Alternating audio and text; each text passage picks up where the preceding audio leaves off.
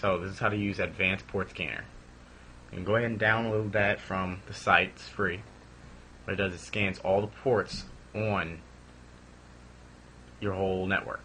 So right here, this is a private IP address, 192.168.1.1. And what that does is that 255, that's the last. So this is the first dot one. This is the last in that particular network, dot 255. What we're going to do is we're going to go ahead and scan that. You see, this is one computer, or the router actually. You can see the router right here. This is another computer. This is the third computer or device. It could be wire. It could be wired TV, wired radio, maybe even a Wii. We don't know, but it does have IP address. What it did, it just scanned everything from here to there, and it only found three. These are the ports. Go ahead and see the ports right there. Open four, open three.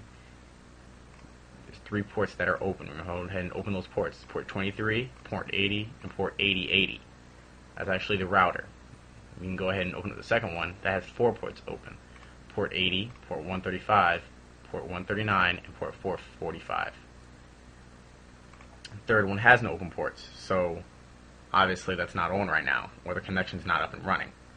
So we can go ahead and look at this. This is actually the computer I'm using right now, since 80 is HTTP, which is the internet, and has three other ports open. NetBIOS advertises things about your computer.